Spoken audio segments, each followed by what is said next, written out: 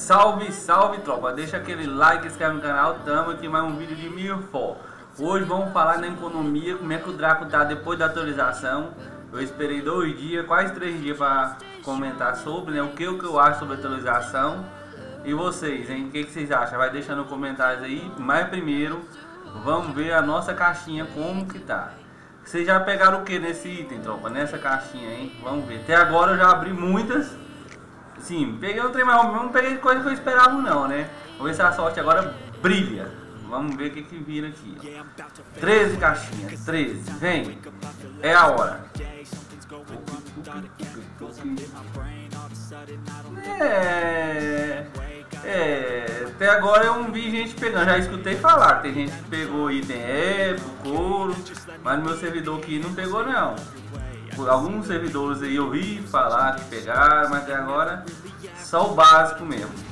Então, tropa, vamos falar da economia. Vamos um pouquinho no Draco.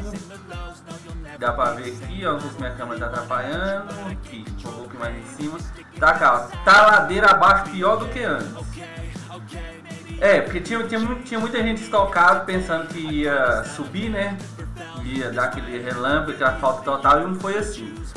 Vou explicar. Por causa que a atualização tem que atrair novos jogadores, tropa. Não tem jeito. Eu conheço aqui uma trupa que eu tava mesmo uma, uma, uma tropa que eu tava conversando aqui no Discord.